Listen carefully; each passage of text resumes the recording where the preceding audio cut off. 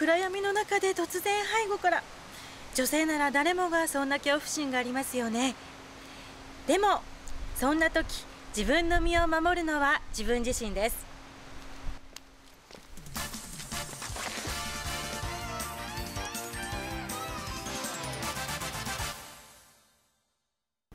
今回教えていただくのは警察本部で逮捕術を指導なさっています鎌田先生です。よろしくお願いします、はい、よろしくお願いします。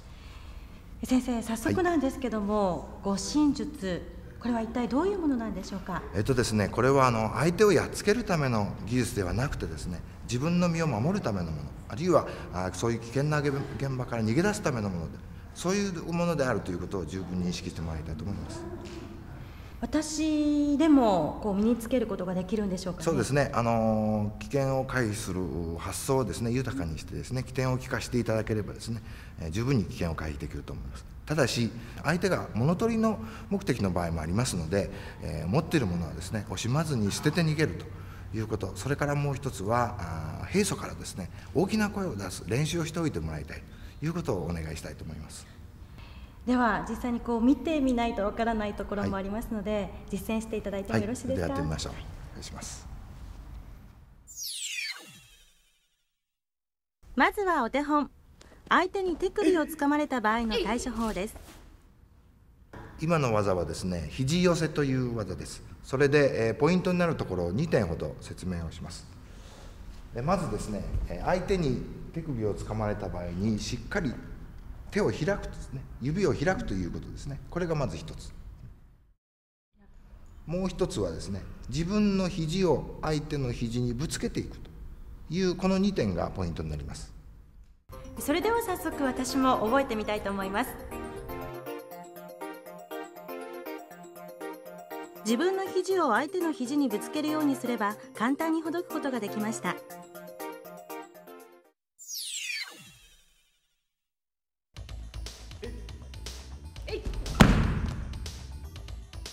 これは相手の手の甲に親指を当てるように握るのがポイント。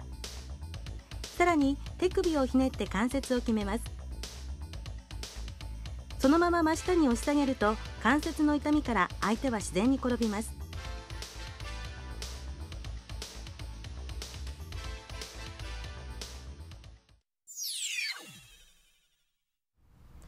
さあ続いての技は、はい。え続いてはですね相手に両手で掴まれた場合の対処法を紹介します。これは合掌取りと言います。この技のポイントは自分の合掌した両手をですね相手の肘関あの手首関節にぶつけて離脱をするという方法です。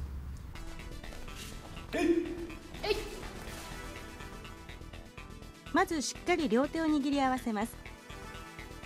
そのまま腕を回すように相手の関節をひねって切り離します。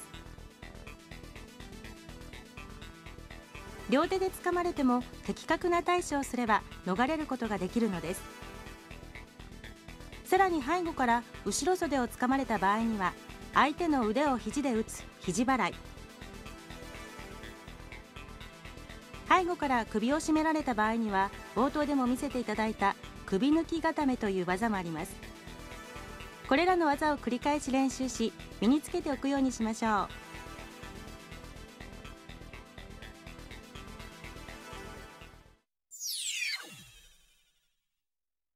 う。またその他の手段として有効なのが急所攻撃です。目や耳鼻さらにすねや足の甲への打撃などがあります。さらに女性が普段持ち歩く携帯品を利用するのもいいでしょう。ハンドバッグで顔面や側頭部を打つ。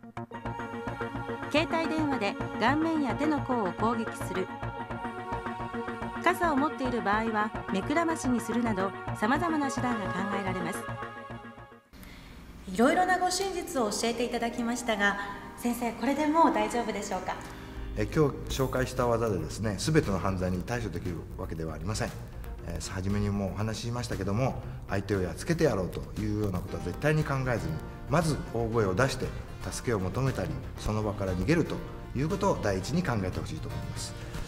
護身術の鉄則はまず絶対に危険に近寄らないということであるということをぜひ心に留めておいてほしいと思いますでも常に身の危険を心がけていなければいけないということですね。はい、ありがとうございました。はい、ありがとうございました。まさかの時に自分の身を守る護身術。身につけておけば心強いものです。このビデオを参考にマスターしてみてはいかがでしょう？